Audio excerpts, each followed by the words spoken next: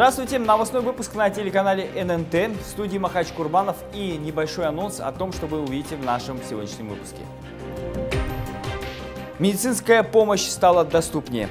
Глава региона Сергей Меликов вручил ключи от новых спецмашин главврача медицинских учреждений.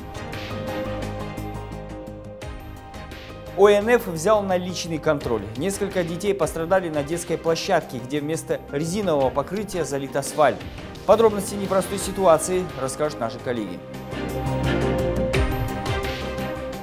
За победу на Олимпиаде в Токио депутат Госдумы премировал своего земляка Абдул-Рашида Садулаева. Смотрите в нашем спортивном блоке. Новые машины врачам. Ключи от 27 спецмашин получили дагестанские главврачи медицинских учреждений. Ключи были переданы лично руководителям республики в рамках программы модернизации первичного звена здравоохранения Республики Дагестан. Среди автомобилей «Газель» для транспортировки больных, «Нива» для перевозки медперсонала, а также «Лада Ларгус», которая сочетает в себе возможность перевозки медперсонала и лежачих больных. По словам Сергея Меликова, такое обновление автопарка послужит повышению доступности медицинской помощи для жителей районов. Раньше поликлиники вообще транспортом не оснащались. А сейчас вот по модернизации первичного звена здравоохранения поликлиники оснащаются таким транспортом для того, чтобы, опять же, в поликлинику на прием к врачу можно было пациента доставить, при необходимости перевести его потом либо в медицинское учреждение, либо вернуть домой. То есть, в общем-то, такая э, хорошая э, поддержка, хорошее подспорье. В Махачкале по проспекту Шамиля 21 произошел пожар на крыше жилого пятиэтажного дома. Площадь пожара составила 150 квадратных метров. Из здания эвакуированы 120 жильцов.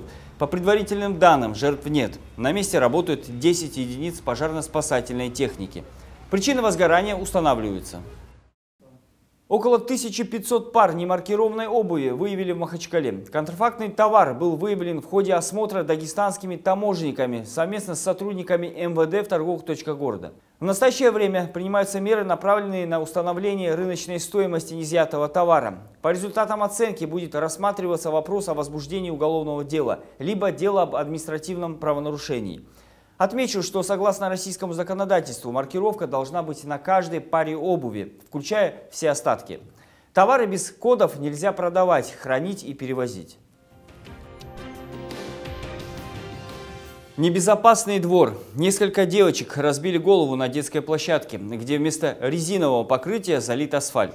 Больше года родители пострадавших малышек не могут наказать виновных. Общественный народный фронт взял ситуацию на личный контроль, пригласив на место событий сотрудников администрации города, прокуратуры и представителей УЖКХ разобраться в ситуации. Подробнее в материале моих коллег. Ни в чем не повинный ребенок пострадал, понимаете, просто выйдя на прогулку вот сюда.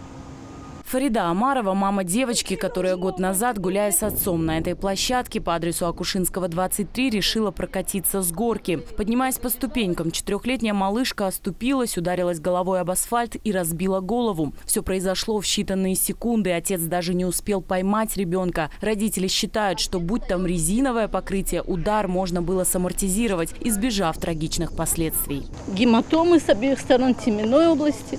Вот и ну, перелом основания черепа. Нам тут же сделали операцию. Операция длилась около 6 часов. В 21.55 ее забрали на операционный стол. В 4 утра где-то спустился доктор, сказал, что девочку наблюдаем. Две недели мы находились, с 3 по 17 мы находились в реанимации. Ребенок была очень тяжелым, тяжелом состоянии, медикаментозная кома была. Ребенок мой заново научился сидеть, говорить, стоять, ходить то, что мы пережили, это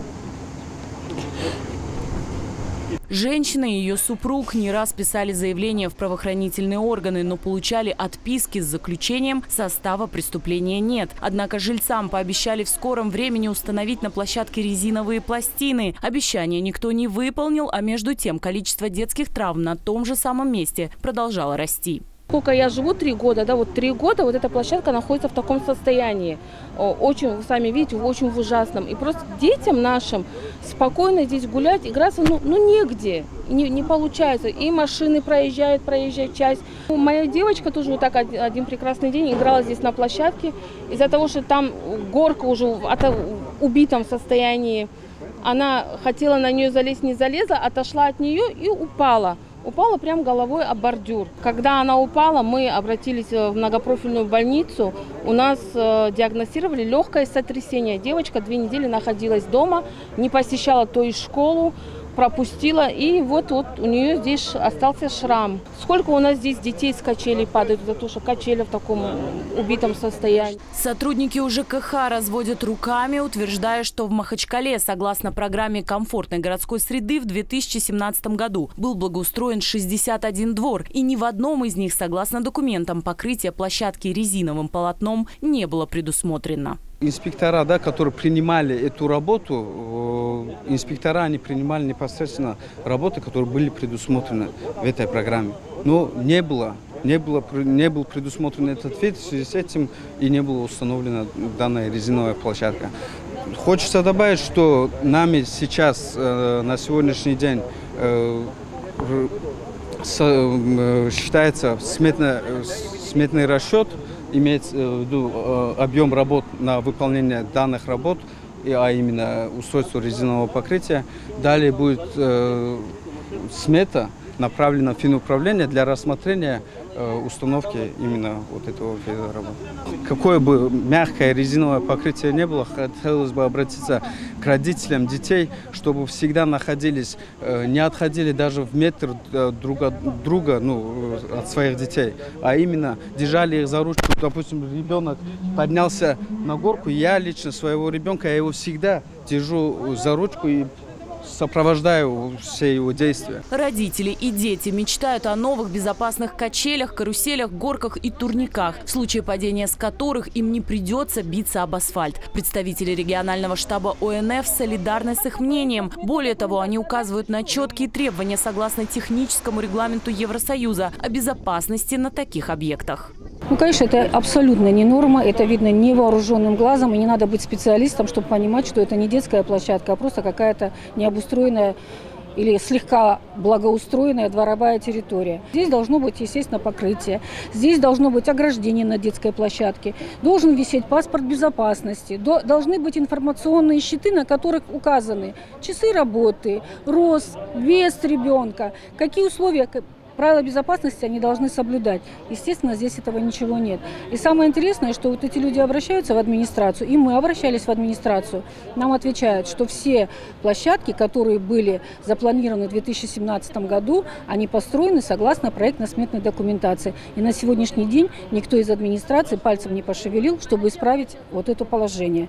А дети ведь гуляют здесь, играют, и уже ни один ребенок здесь упал. Все участники конфликтного вопроса, в котором не удается найти решение, решение наказать виновных и заключить, кто же все-таки и когда установит новое покрытие, сдаваться не намерены. Впереди у причастных к баталиям очередные обращения в прокуратуру. Лариана Шамхалаева, Нурмагомед Магомедов, новости ННТ Махачкала.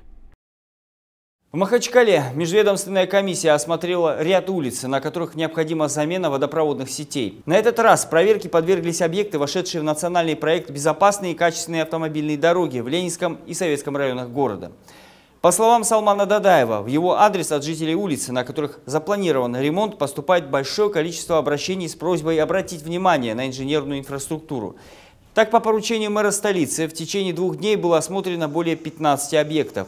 По каждому из них были определены сроки проведения работ и составлен соответствующий график. Согласно нему, замена сетей будет проведена до укладки асфальтобетонного покрытия. Также по просьбе махачкалинцев городские службы асфальтировали проезд к морю. Обратите внимание, на этот участок Салмана Дадаева неравнодушные граждане попросили в аккаунте мэра в социальной сети в Инстаграм. Специалисты Махачкала-1 на протяжении двух дней проводили работы по подготовке восстановления дорожного полотна. Затем было проложено асфальтобетонное покрытие. В Дагестане стало больше еще на двух заслуженных мастеров спорта России. Почетное спортивное звание присвоено боксеру Альберту Батыргазиеву и борцу вольного стиля Гаджимураду Рашидову. Соответствующий приказ опубликован на сайте Минспорта страны. Напомним, уроженец Дагестана, проживающий в Нижневартовске, Альберт Батыргазиев стал победителем Олимпиады в Токио. До этого он четыре раза побеждал на чемпионатах России. Гаджимурат Рашидов в столице Японии завоевал бронзовую медаль. Также за плечами воспитанника Каспийской школы борьбы значится победа на чемпионате мира и Европы. Это все, о чем мы вам хотели рассказать сегодня. Смотрите наши новости завтра. Всего доброго, до встречи.